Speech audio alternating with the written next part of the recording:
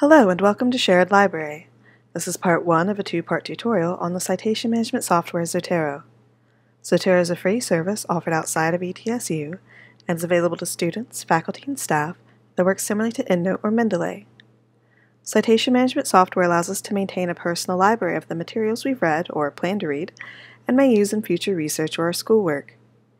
Many have plugins that allow you to pull citation information from web pages or databases and organize it into an app.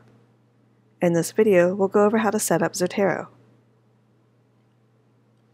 Let's begin with creating an account and then we'll download the desktop application.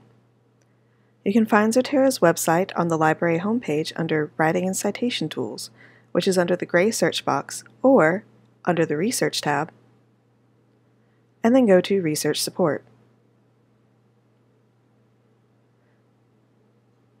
To the left, you will find a menu which includes citation tools closer to the bottom.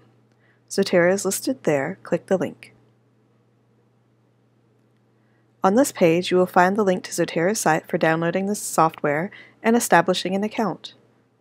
You will also see a guide on how to use Zotero. Click the Zotero link at the top now. I would suggest registering for an account prior to downloading.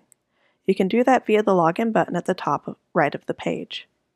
I already have an account, so I will just log in. Feel free to pause the video here while you make an account. After logging in, you will be brought to your citation library. If you choose, you can update your profile to reflect institutional affiliation and disciplines.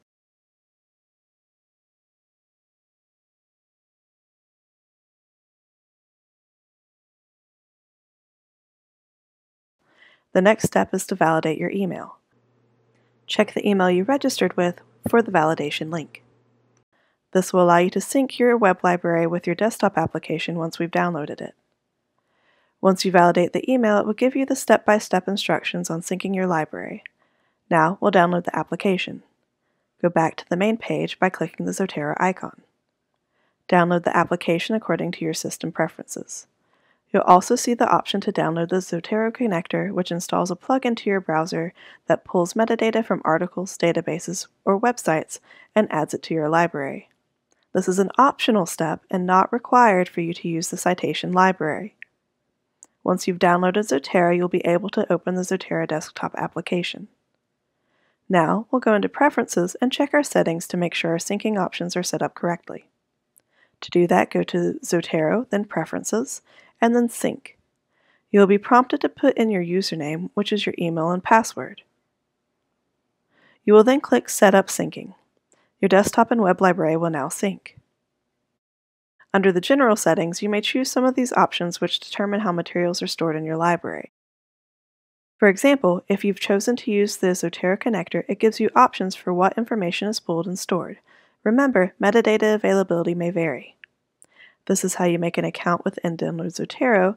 In part 2, we will cover how to add and organize our citation library. If you have any questions, feel free to make a research help appointment.